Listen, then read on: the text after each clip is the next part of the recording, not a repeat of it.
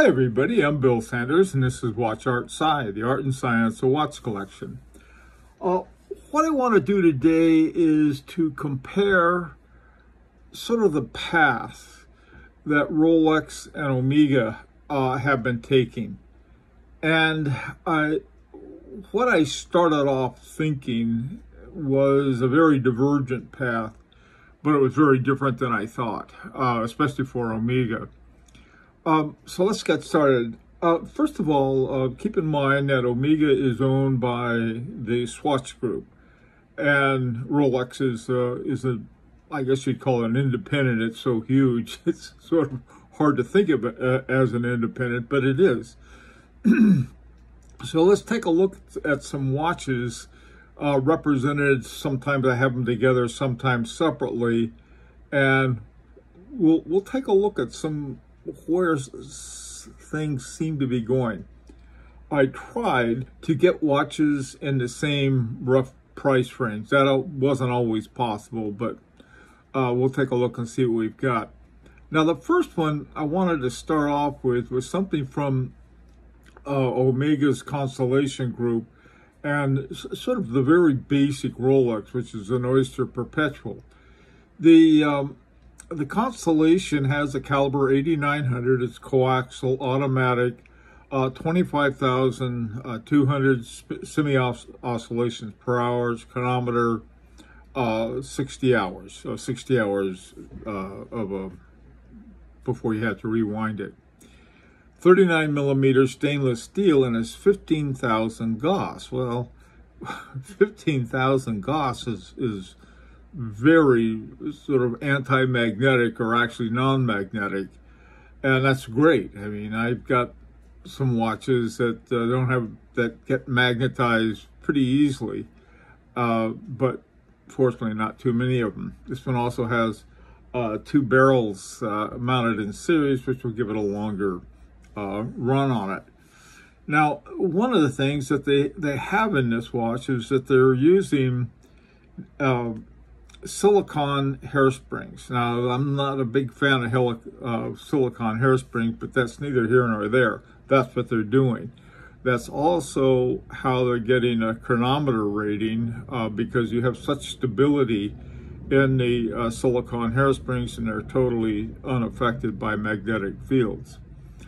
Now, the Oyster Perpetual uh, caliber 3230, 28,800, uh, semi-oscillations per hour. I think just about all Rolexes now have the same uh, frequency. Chronometer, all Rolexes are chronometer rated 70 hours automatic. Have something, an escapement called the Chronergy escapement. That's compared with the coaxial escapement on the Omega.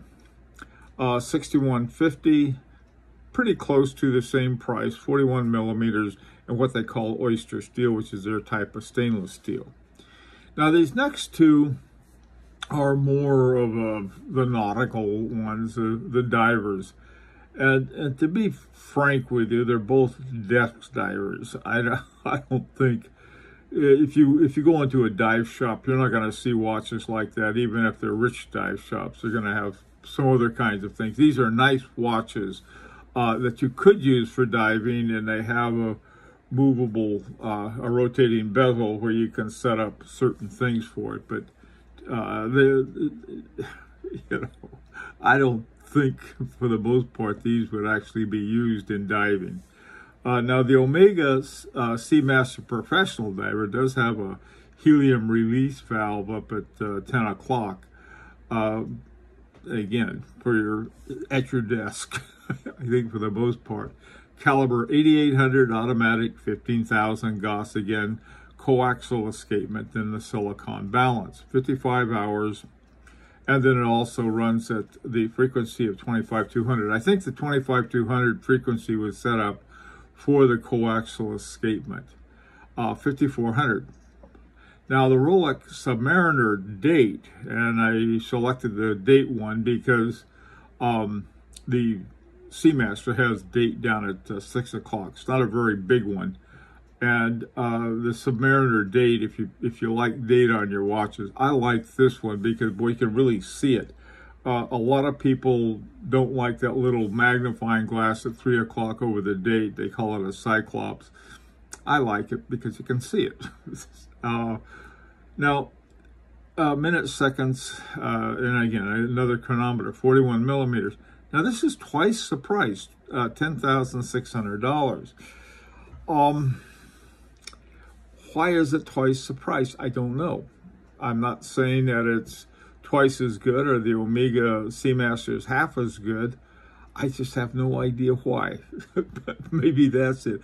I know it's incredibly popular, and that may have something to do with it. Now, these next two, this is this is where things are off a little. Now, the first two Omegas we looked at, both of them had silicon escapements. This huge amount of uh, Gauss, 15,000. And then we come to the Omega DeVille, and I was very surprised. The Caliber 2627 is Omega's version of the ETA 2892-A2, which is a hugely reliable, excellent movement. And it's used by a lot of them. Now remember, Omega is part of Swatch, and Swatch owns ETA, so they can have as many of those as they want. And then they can call it the 2627. Uh, this one has a power reserve indicator, which is this is nice, I guess. I I I think with automatics, you know, you're running around and stuff and winding a watch all the time. I I don't think a power reserve indicator is as necessary as something that's a hand wound one like this one. And the power reserve indicator's on the back, so it's not doesn't mess up the uh, uh, dial. I don't think they mess up the dial too much anyway. Uh, certainly they don't on this uh, Omega DeVille. All right, now this doesn't have have any of the Gauss value that the the ones with the silicon have. Uh, there, the issues with silicon is that you can't have a curve regulator. Everything is a free sprung regulator, which actually is probably uh, is probably considered a little better type of regulator because uh, it, you get more precise uh, adjustments by turning these little weights. Hard to do though. So anyway, this one's 49.50. And again, this is another type, the DeVille, uh, the Omega, the Seamaster. Those are all different types of Omegas. Now, the Rolex Milgauss, here you have, this is sort of funny, I compared these two because this is one pair where you have uh, you do have some kind of Gauss setting, 1000, which doesn't seem like much compared to the 15,000, but this is done uh, with a parachrom hairspring and not a, a, silicon one. So I have a lot of respect for that. Always have liked this uh, Rolex, the Milgauss. Something about it I always like.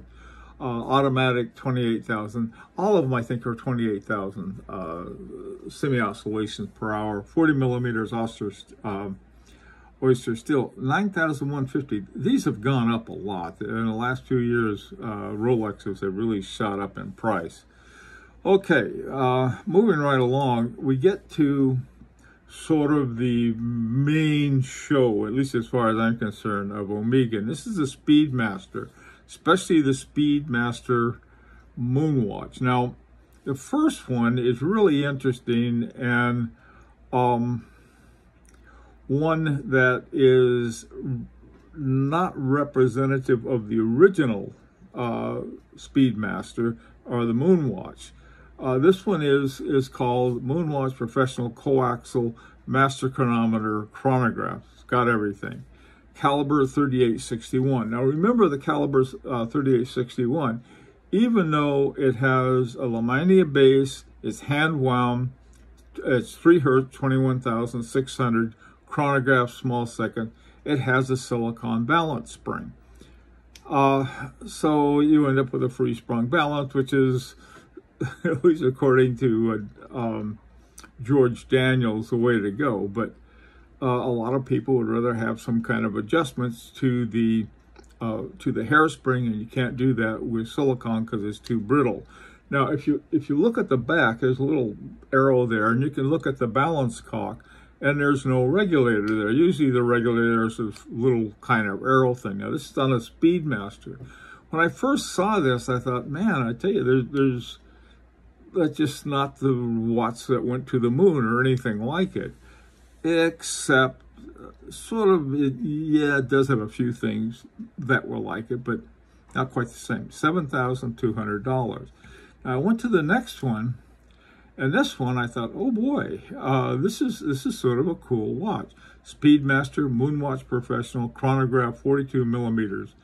Now it's got a solid back, but what I did, I superimposed the movement of the um, uh, caliber 1861 movement so you could see it. That's really sort of, I just sort of, like I said, superimposed it on a solid back. And there you can see the regulator, the little regulator there on the, um, on the uh, balance cock. And so if it's running too fast or slow, you can go in there and push it one way or the other or have a watchmaker do it for you. Uh, and so this is this is 1861 Lemania 1873 uh, base to it, hand wound, 48 hours, 3 hertz again, small seconds, 5350. That's a pretty good price, I thought. I had A heck of a good price. Now, finally, what, again, going back to Seamaster, Speedmaster, I'm sorry, Speedmaster, this is the original original. This is a caliber 321, chronograph, stainless steel, uh, 39.7 millimeter. Interesting number there. And there you can see the regulator again on the 321. Now, um, this one, the Omega 321, it's manually wound uh, chronograph with a frequency of 2.5 hertz. Mm, love it. 18,000 VPH, 44 hours, 60 second chronograph register, a 30 minute counter, and a 12 hour counter. 14,100. Now this is interesting because this is, is the oldest type of, I guess, mechanical technology, uh, and it costs the most. But it's also probably, I think it's actually the closest one uh, that they took to the moon. The ones they had on the moon all had solid back, so so uh, that part of it isn't. So what you have, what I was thinking, uh, sort of that Omega just sort of said, okay, we're going all uh, silicon hairsprings like Patek Philippe did, but they didn't. They have a they have quite a nice variety, some of which are silicon hairsprings, which have all kinds of preferable uh, features to them that uh, I don't care about. so does my iPhone. Uh, but they also have kept things in the more traditional mode. And those are the watches I like. So I'm very happy to see what they've done with the Speedmaster. Two different movements on. On the other hand, though, they said, well, okay, we'll we'll throw one in with the uh, silicon hairspring for other kinds of reasons. All right, now after having talked about um, you know the Speedmaster at length, one thing I thought I would talk about, and this is this is something that it keeps shrinking and shrinking in terms of the variety of models they have in Rolex Cellinis. And the Cellini moon phase is the only one they have left. And and looking at it was, you know, again, it's 28,800 4 hertz uh, movement on the caliber 3195, 48 hours, $26,750. Well, like I said, I like this. I like the hand date. The hand date goes around uh, the outside and has a little cup for the different dates. It's got a moon phase. I, I don't. I mean, a moon phase is sort of an interesting little trinket to have on your watch. I have a couple of them. I, I unfortunately I don't pay much attention to them, but this is a wonderful watch. It really is. I mean, for a dress watch it's it's gold. It's it's nicely done. It's uh, and it has a uh, paramagnetic blue parachrom hairspring. Again, you're using instead of using uh, metalloids like uh, silicon, this one is using a transition metal. Uh, the parachrom is made up of niobium and chromium plus some other other secret ingredients, I guess. But anyway, in comparing these two, I think there, there are fewer surprises with Rolex. And I don't mean that as a criticism. I mean that Rolex has been doing incredibly well and they have these gradual improvements and that's fine. Uh, uh, Omega, on the other hand, is going through a lot of changes because I know that Swatch has this big thing about the silicone hairsprings are mass produced. They don't. They have all kinds of advantages. Uh, but so does my iPhone, and so does a quartz watch. So I'm not going to get into that fight. But I, I got to tell you, in comparing these two, I was more surprised by Omega than I was Rolex. Like them both. Uh, would really like to hear your opinion. And until next time, this is Bill Sanders for Watch Art Sci, the art and science of watch collection.